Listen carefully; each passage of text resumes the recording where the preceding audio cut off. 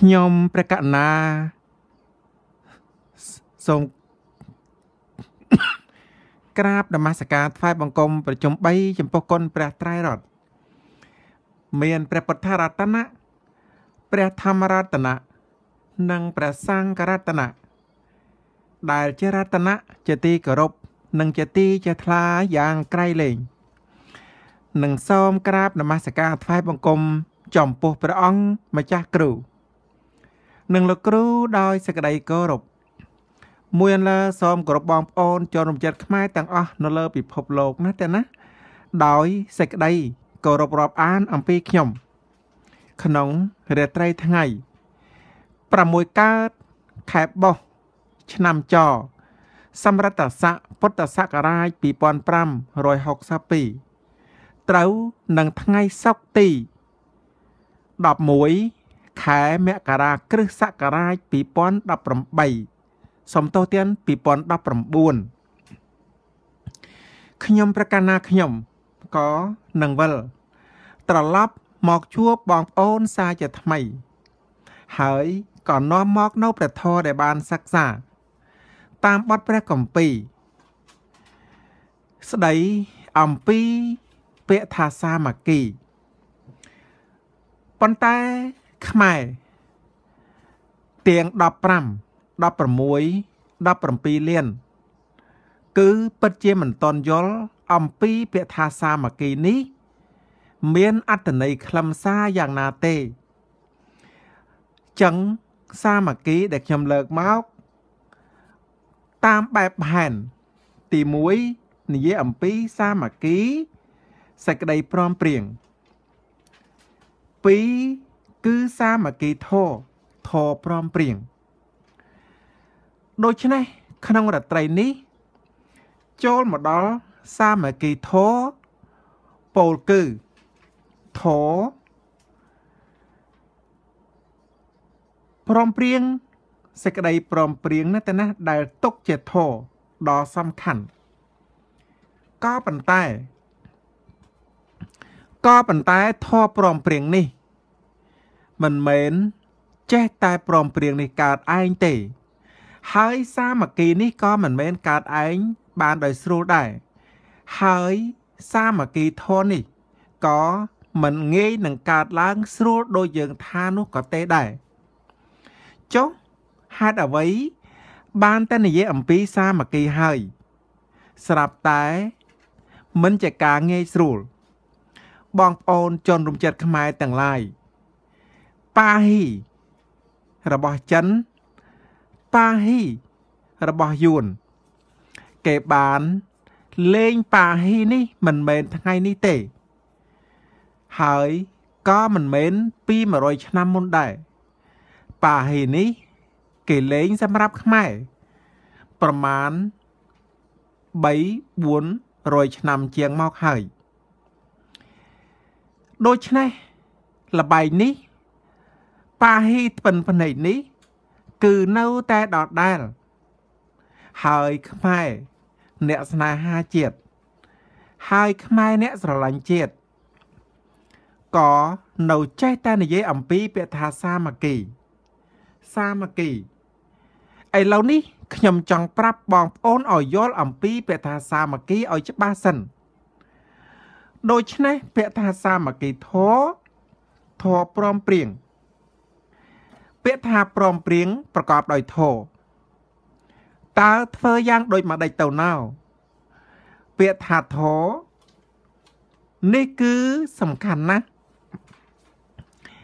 កាលណាស្ដេចមានធរធរព្រមព្រៀងក៏កើតឡើង ដល់សង្គមបាន កាលបើស្ដេចគ្មានធោសាមគ្គី ព្រមព្រៀងគឺមិនមានដល់រះប្រជាទេចោះអាងអីឥឡូវនេះខ្ញុំលើកតាក់លហៃកឲ្យបងប្អូនលោកអ្នកសន្តាប់ ហើយនឹងយកមកធ្វើការពិចារណាសួរតាតាខ្មែរមានសាមគ្គីពីណា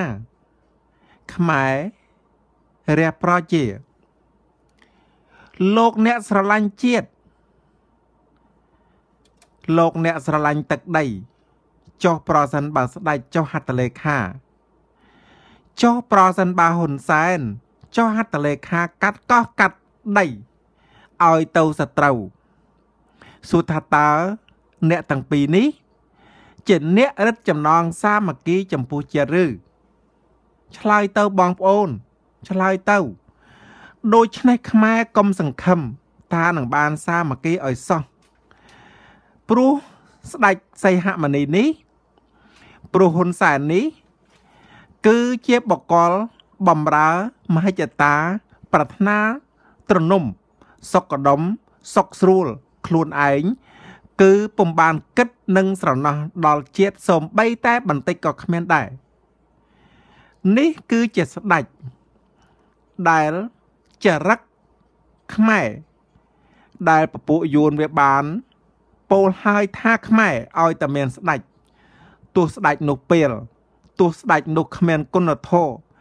ក៏ខ្មែរចូលចិត្តតែស្ដេចចឹងហើយទៅគេយកស្ដេចរំបាលេនេះមកបិទមកបាំងធ្វើឲ្យមនុស្សវងវែងភ្លេចភ្លឹកផ្លត់សកតិស្មារតីអស់ទៅហើយដូច្នេះសាមគ្គីនេះ គឺมันអាចទៅបានទេដល់រាបណា ស្ដេចនេះ មានសាមគ្គីធរពាក្យថាសាមគ្គីធរនេះស្ដេចនេះចេះវិនិច្ឆ័យទៅដោយកតយុត្តសច្ចធរគុណធរសិលធរហើយសមៈធរឲ្យស្មើទាំងអស់ចុះប្រសិនបើស្ដេចនេះយួនចិន វាຕົកតែសម្រាប់បិទបាំងទង្វើអាក្រក់របស់គេ ខ្មែរល្ងងគឺឲ្យតែមានស្ដេចស្ដេចធ្វើទង្វើអាក្រក់យ៉ាងណា អ្នកដឹកនាំធ្វើទង្វើអាក្រក់យ៉ាងណាក៏ខ្មែរនៅតែបិទមាត់ដូច្នេះខ្មែរកុំសង្ឃឹមថាបានរស់រៀនមានជីវិតថ្លៃថ្លាទៅអនាគតឲ្យសោះដល់រាបណាព្រះសង្ឃប្រមាណ760,000អង្គដល់រាបណាខ្មែរ អ្នកសំដែងធរមានបណ្ឌិតពហុសោតដល់រាបណារះខ្មែរទាំងអស់ហ៊ាននិយាយថាស្ដេចនេះគឺមិនមែនជាស្ដេចបំរើខ្មែរទេ ស្ដេចនេះបានត្រឹមតែមកធ្វើត្រុកត្រុកត្រូនត្រូនកណប់សាលូតទៅកាន់ចវាយចិនហើយនឹងយួនសំពះត្រុកត្រុកត្រូនត្រូនពូកែខាងរំបាឡេពូកែខាងចុះហត្ថលេខា ឲ្យកោះឲ្យដីគ្មានស្រណោះគ្មាននឹកគិតដល់រះប្រជាដែលលោករងគ្រោះគឺគ្មានសួរថាតើសាមគ្គីធម៌បានមកអំពីណាបើស្ដេចនេះគ្មានគុណធម៌យ៉ាងហ្នឹងនេះគឺជាមេចម្បង មេរោគធំបំផុតសម្រាប់សង្គមខ្មែរបងប្អូនជនរួមចិត្តខ្មែរទាំងឡាយសាមគ្គីភាគទី1សាមគ្គីធម៌ភាគទី2សេចក្តីព្រមព្រៀងដែល ទុកជាធរសំខាន់តាមពិតធរនេះ គឺមិនមានទេ សាមគ្គីនេះគឺមិនមានទេ វិធីឬរបៀបបែបបត់ដែលបំវឹកគ្នាឲ្យមានសាមគ្គីហ៊ុនសែនសីហមុនីនិងបរវាមានតែញុះញង់មានតែចារុកមិនបានបំវឹកមិនបានធ្វើឲ្យស្ទាត់ជំនាញក្នុងការសាមគ្គីទេ បងប្អូនជនរំចិត្តខ្មែរទាំងឡាយពពួកយួនពពួកចិនវាចេះណាស់វាធ្វើឲ្យសីហមុនីនេះ វងវែងនឹងបាឡាំងវងវែងនឹងត្រនំ តាមការសិក្សាតាមជើងឯកសារឬក៏សៀវភៅព្រះបណ្ឌិតខៀវជុំលោកថាត្រកូលស្ដេចជាអ្នកធ្វើស្រែ លើខ្នងប្រជានរះឲ្យហូរឈាមរហាម មិនត្រឹមតែប៉ុណ្ណោះទេ ពួកត្រកូលស្ដេចនេះកាលបើបកលណានិយាយត្រូវត្រង់ត្រឹមត្រូវហើយក៏រមែងតែងតែសម្លាប់សួរថាចុះបើកាលណាសម្លាប់ទាំងអំពើអយុត្តិធម៌យ៉ាងហ្នឹង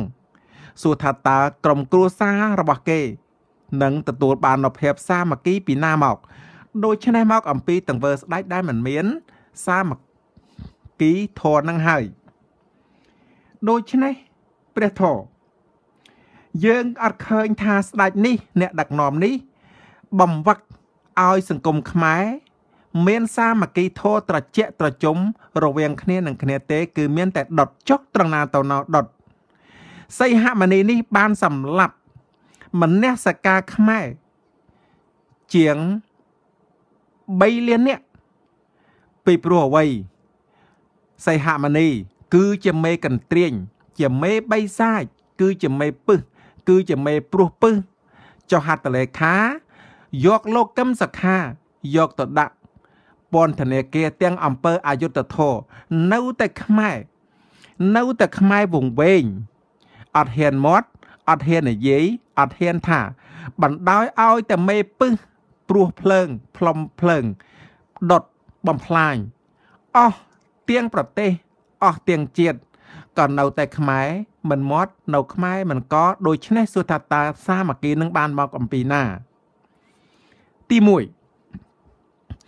ទី2ចុះហត្ថលេខាទម្លាក់រំលាយសង្គ្រោះជាតិមនសការខ្មែរជាង3លានអ្នក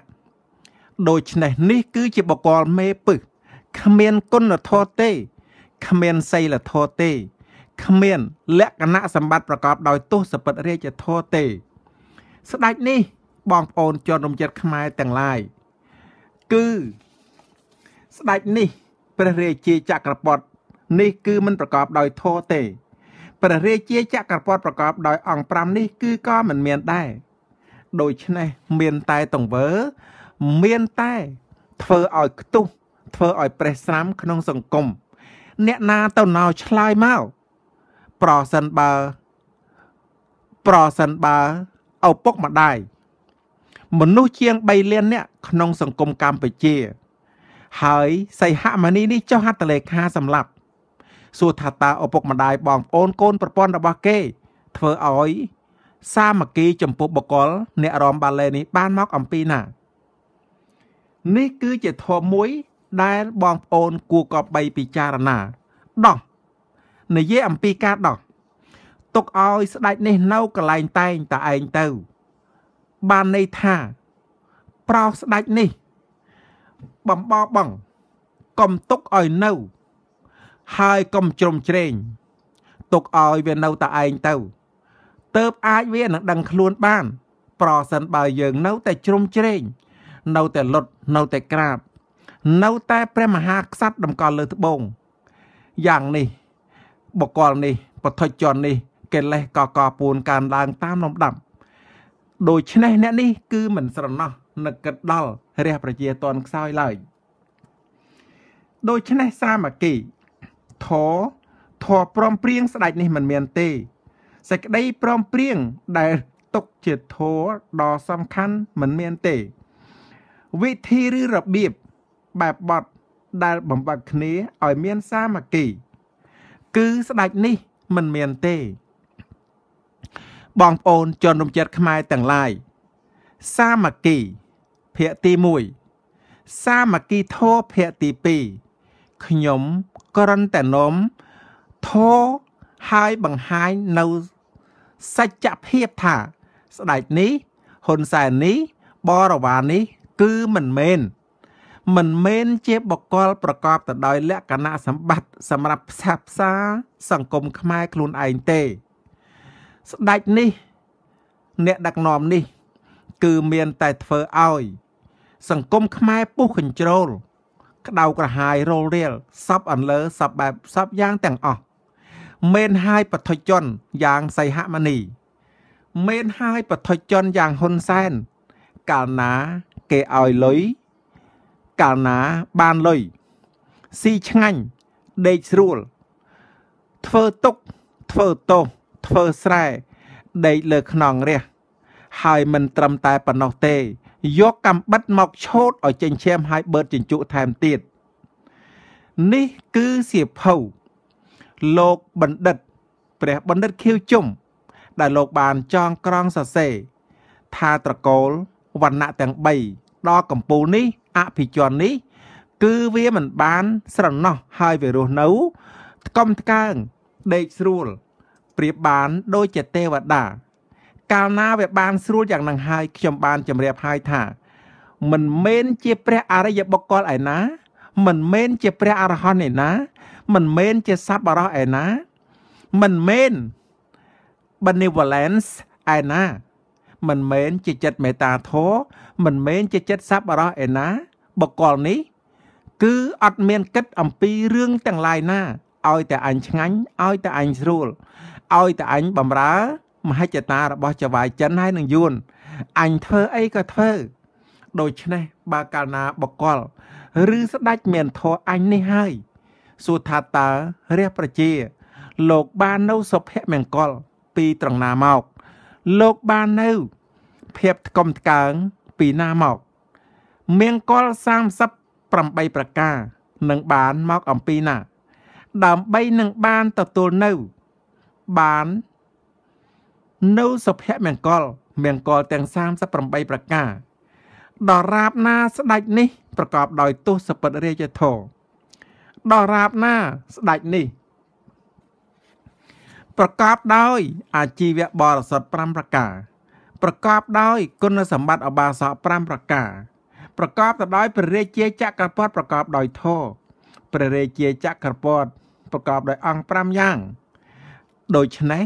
ទៅអាចសង្គមខ្មែរទទួលបាននៅសុភមង្គលសុខដុមរមនីថ្កុំថ្កើងរុងរឿងទៅបាន តែមេពឹសមេកន្ទ្រាញមេបីសាច់មេរោគដើម្បី ដើម្បីមកធ្វើឲ្យខ្មែរកើតវិបត្តិធ្វើឲ្យខ្មែរកើតនៅកលយុគខ្មែរមានតែទឹកភ្នែកខ្មែរមានតែរិចរិលខ្មែរមានតែអស់ខ្មែរមិនអាចរកសុភមង្គលរុងរឿងថ្កុំថ្កើងដោយសារស្ដេចសីហមនីនេះបានទេដល់រាបណាដល់រាបណាខ្មែរទាំងអស់ព្រះសង្ឃទាំងអស់ប្រកាសប្រាប់ថា ស្ដេចនេះគឺមិនមានទស្សពិតរាជធរទេ អ្នកដឹកនាំនេះមិនមានទស្សពិតរាជធរទេ កាលណាបកលនេះប្រែរូបដឹងខ្លួនថាបានធ្វើទង្វើអាក្រក់ហើយមិនបានដើរតាមធម៌ថ្ងៃនោះស្ដេចនេះកែខ្មែរក៏នឹងបាននៅសុខសន្តិភាពក្នុងពេលនោះមិនខានឡើយ នេះគឺខ្មែរត្រូវតែបដូរដោយខ្លួនឯង បើជាតិខ្មែរបើប្រសង់មិនបដូរដាច់ខាត ខ្មែរកុំសង្ឃឹមថានឹងបានទទួលនៅពន្លឺសុភមង្គល នៅពេលអនាគតនេះឲ្យសោះមានតែ មានតែស្ដេចនេះខ្ញុំជឿជាក់ថាឲ្យតែនៅត្រុកត្រុកត្រូនត្រូនរបៀបនេះ គឺវានឹងដល់ពេលចូលបាវដែលពពួកយួន ចាប់ព្រះអង្គម្ចាស់ក្សត្រីអង្គប៉ែន ច្រកបាវហើយយកទៅទម្លាក់នៅឯសមុទ្រនេថូបាត់ទៅរីឯស្ដេចសីហមុនីនេះបើសិនជានៅធ្វើត្រុកត្រុកត្រូនត្រូននេះថែមទៀតខ្ញុំសង្ឃឹមថាមិនយូរទេអវសាន របស់ស្ដេចនេះក៏នឹងអស់រលត់ផុតពូជទឹកដីខ្មែរក៏នឹងរលត់ផុតចេញពីដែនលើពិភពលោកនេះក៏មិនដឹងផង ការអត្ថាធិប្បាយស្រាយបំភ្លឺស្ដីអំពីសាមគ្គីភៈទី2 ដោយយល់ទៅតាមការពេលវេលាមានកំណត់ខ្ញុំប្រកាសថាខ្ញុំសូមក្រាបនមស្ការថ្វាយបង្គំលាជម្រាបលាបងប្អូនត្រឹមតែប៉ុណ្ណឹងសិនបាទ